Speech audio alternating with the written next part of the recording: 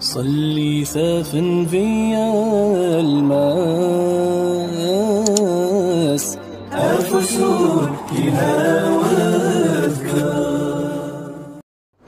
الحمد لله رب العالمين. الحمد لله رب العالمين. يهدي من أراد لهم السعادة إلى صراطه المستقيم. وأشهد أن لا إله إلا الله وحده لا شريك له. شهادة تنجينا من العذاب الأليم وتدخلنا بها في جنات النعيم. وأشهد أن سيدنا وعظيمنا وحبيبنا محمدا رسول الله. أخبرنا أن الصدقة تطهر نفوسنا وتزكي أموالنا وتحفظ أجسادنا من الأمراض. فقال في حديث رواه أبو داود والبيهقي والطبراني حصنوا أموالكم بالزكاة وداووا مرضاكم بالصدقات. فاللهم صل وسلم وبارك على هذا النبي الكريم وعلى آله وأصحابه الأتقياء الأنقياء. ثم أما بعد.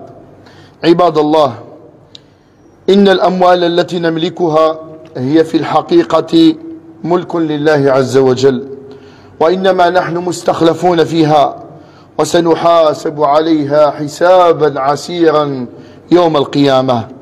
يقول الله تعالى آمنوا بالله ورسوله وأنفقوا مما جعلكم مستخلفين فيه فالذين آمنوا منكم وأنفقوا لهم أجر كبير. وإن الحصول على هذا الأجر الكبير لا يتحقق إلا باتباع أوامر الله فإن الله يعدكم مغفرة وفضلا. فلا تغرنكم الحياة الدنيا ولا يغرنكم بالله الغرور. ولا تتبعوا خطوات الشيطان فإنه يعدكم الفقر ويأمركم بالفحشاء. أيها المسلمون الأفاضل إن الزكاة ركن من أركان الإسلام عظيم ودعامة من دعائم الإيمان عميقة فإيتاؤها مع إقامة الصلاة والشهادتين عنوان الإسلام واستحقاق لأخوة المسلمين. يقول الله تبارك وتعالى فإن تابوا وأقاموا الصلاة وآتوا الزكاة فإخوانكم في الدين. فهذا خليفة رسول الله صلى الله عليه وسلم سيدنا أبو بكر الصديق رضي الله عنه جهز أحد عشر لواء لمقاتلة المرتدين الذين امتنعوا عن أداء الزكاة. وقال قولته الشهيرة والله لأقاتلن من فرق بين الصلاة والزكاة. والله لو منعوني عقالا كانوا يؤدونه لرسول الله لقاتلتهم عليه. فهي أول حرب على مر التاريخ البشري الطويل كله أعلنت دفاعا عن حقوق الفقراء والمساكين والمستضعفين في الأرض. فلو وقعت هذه الحرب في غير أمتنا الإسلامية لافتخروا بها ولو وضعوا لها مسرحيات وأفلاما سينمائية تخلد هذه الحادثة التاريخية الفريدة من نوعها. ولكننا نحن المسلمون من كثرة نعم الله علينا وكثرة خصال أبطالنا وعلمائنا أصبحنا لا نعير اهتماما كبيرا لتاريخنا ولا حول ولا قوة إلا بالله.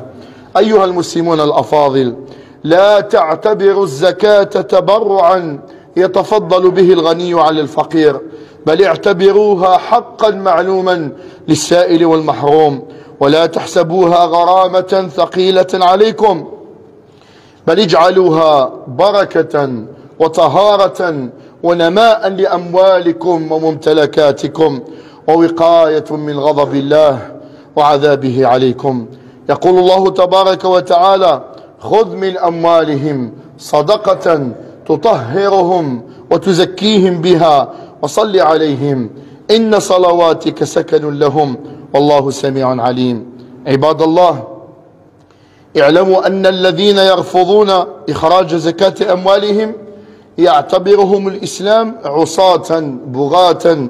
يعذبهم الله هنا بخدمة الدنيا وجمع الأموال التي سيتركونها لورثتهم وسيسألون عنها وحدهم هناك ويعذبون بها بلهيب النار والعياذ بالله. يقول الله تبارك وتعالى والذين يكنزون الذهب والفضة ولا ينفقونها في سبيل الله فبشرهم بعذاب أليم. يوم يحمى عليها في نار جهنم فتكوى بها جباههم وجنوبهم وظهورهم. هذا ما كنزتم لأنفسكم فذوقوا ما كنتم تكنزون. وروى الطبراني أن الرسول صلى الله عليه وسلم قال إن الله إن الله فرض على أغنياء المسلمين في أموالهم بقدر الذي يسع فقراءهم ولن يجهد الفقراء إذا جاعوا أو عروا إلا بما يصنع أغنياؤهم. ألا وإن الله سيحاسبهم حسابا شديدا ويعذبهم عذابا أليما. أيها المسلمون لقد فرض الله الزكاة وبين ذوي الحقوق فيها بين ذوي الحقوق فيها وقسمها بعدله ليضمن العيش الكريم للفقير والمسكين وابن السبيل والعاجزين وفي سبيل الله الذي يشمل كل المشاريع الخيرية. يقول الله تبارك وتعالى في سورة التوبة إنما الصدقات للفقراء والمساكين والعاملين عليها والمؤلفة قلوبهم وفي الرقاب والغارمين وفي سبيل الله وابن السبيل فريضة من الله والله عليم حكيم. فبادروا عباد الله إلى حساب أموالكم وتقييم سلعكم فنصاب هذه السنة كما تعلمون واحد وثمانون مليون وستمائة ألف واحد وثمانين مليون وستمائة ألف. فمن كان له مثل هذا المبلغ أو أكثر ودار عليه الحول أو العام فليخرج اثنين ونصف في المئة. اثنين ونصف المئة وتقربوا بها إلى خالقكم ورازقكم ابتغاء وجه الله. وما تنفقوا من خير فلأنفسكم. وما تنفقون إلا ابتغاء وجه الله. وما تنفقوا من خير يوفى إليكم وأنتم لا تظلمون. ويقول في آية أخرى وما أنفقتم من شيء فهو يخلفه وهو خير الرازقين. ويقول كذلك فأما من أعطى واتقى وصدق بالحسنى فسنيسره لليسرى. وأما من بخل واستغنى وكذب بالحسنى فسنيسره للعسرى. وأحثكم عباد الله أحثكم على توجيه جزء منها للفقراء من أقاربكم. يقول الله عز وجل ويسألونك ماذا ينفقون؟ قل ما أنفقتم من خير فللوالدين والأقربين. وقول الرسول صلى الله عليه وسلم والذي بعثني بالحق لا يقبل الله صدقة من رجل وله قرابة محتاجون إلى صدقته ويصرفها إلى غيرهم. والذي نفسي بيده لا ينظر الله إليه يوم القيامة. ونعلمكم أن المسجد يستقبل زكاة أموالكم فمن أراد أن يقدم زكاة ماله وتصل إلى الفقراء والمساكين فليبادر بذلك. والله ولي التوفيق. أقول ما تسمعون واستغفر الله العظيم الجليل لي ولكم فاستغفروه إنه هو الغفور الرحيم. فيا سعادة المستغفرين.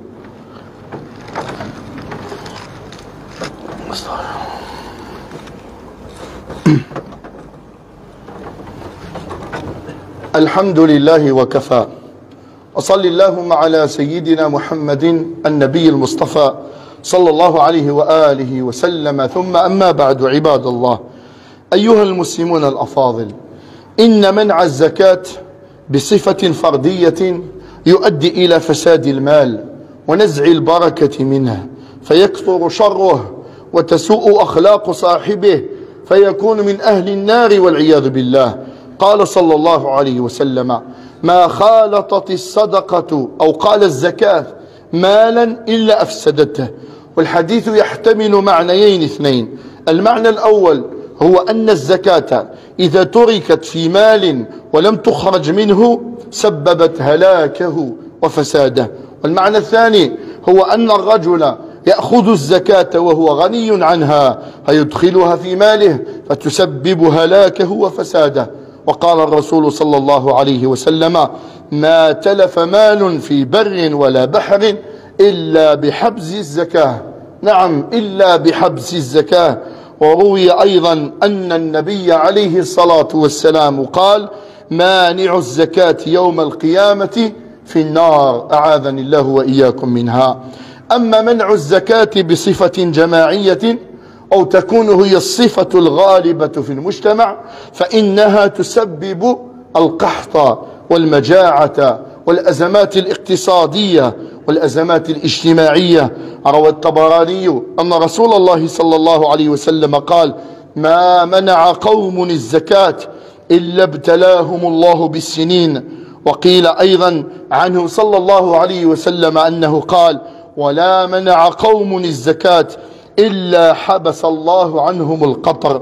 وفي حديث آخر قال صلى الله عليه وسلم يا معشر المهاجرين خصال خمس إن ابتليتم بهن أعوذ بالله أن تدركوهن.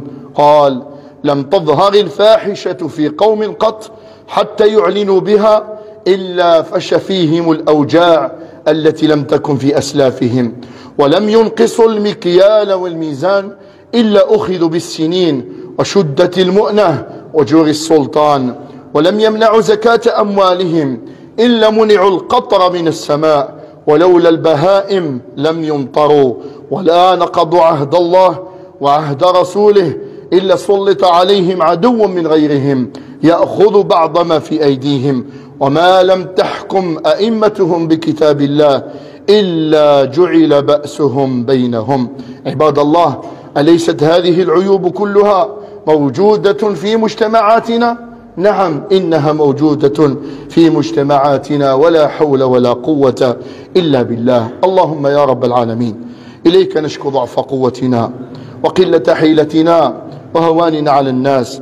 اللهم بصرنا بعيوبنا اللهم ألهمنا رشدنا اللهم وفقنا لما تحبه وترضاه اللهم وفقنا لما فيه سعادتنا في عاجلنا وآجلنا اللهم أعنا على القيام بما فرضته علينا دون تأخر منا ولا تسويف منا يا رب العالمين اللهم اجعل الدنيا في أيدينا ولا تجعلها, تجعلها في قلوبنا اللهم ارزقنا الإيمان القوي الدافع إلى إخراج زكاة أموالنا ابتغاء وجهك الكريم يا رب العالمين.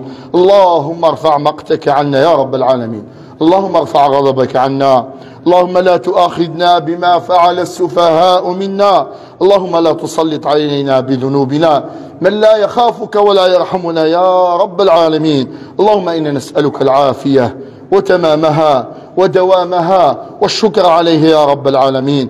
اللهم ارزقنا إيمانا كاملا ويقينا صادقا وعلما نافعا ورزقا واسعا وشفاء من كل سقم.